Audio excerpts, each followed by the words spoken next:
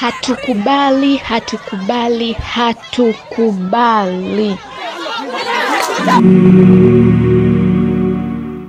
Nchini Nigeria, wake za wanajeshi waliokuwa na hasira wamevamia na kushambulia nyumba ya afisa mkuu wa jeshi CO Samaira Yombe Dabai wa jimbo la 223 BN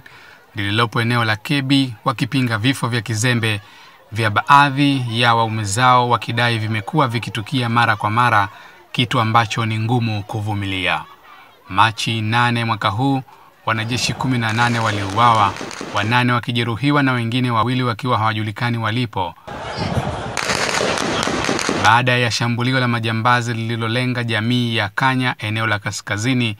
la serikali ya mtaa ya Danko Wasagu katika jimbo la Kebbi nchini humo. Kufuatia tukio hilo, gavana wa jimbo la Sokoto Aminu Waziri Tambuwal akatoa msaada wa naira 30 milioni kwa waathiriwa wa mashambulizi hayo na kuwapa pole Kanali Samaila Yombe, naibu gavana wa jimbo la kebi na mkewe kwa kukutwa na shambulio hilo la kushtukiza. Hata hivyo, serikali nchini Nigeria tayari imewaorodhesha majambazi kama ni sehemu ya magaidi na wamekuwa wakifanya visa vya kikatili katika maeneo ya kaskazini magharibi mwa nchi hiyo,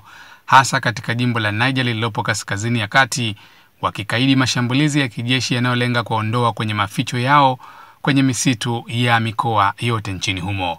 Nigeria imekuwa ikikumbwa na visa vya mara kwa mara vya mashambulizi ambayo hutokea baina ya vikosi vya serikali na waasi, ujambazi au ugaidi, ikiwemo matukio ya kujitoa mhanga ya watu wenye itikadi kali, kitendo kinachosababisha mauaji ya raia wasio na hatia, ambapo inaarifiwa kuwa siku mbili kabla ya shambulio hilo, yaani Machi tano mwaka huu, majambazi hao waliwaua walinzi sitini na watatu katika jimbo hilo. Daima News Update kimataifa.